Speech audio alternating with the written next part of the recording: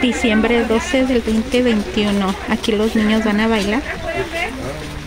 Aquí con la familia Ríos, que los invitaron para festejar en su día la Virgen de Guadalupe.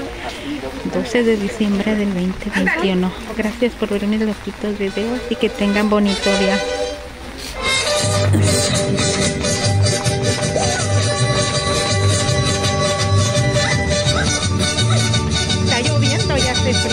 Thank you.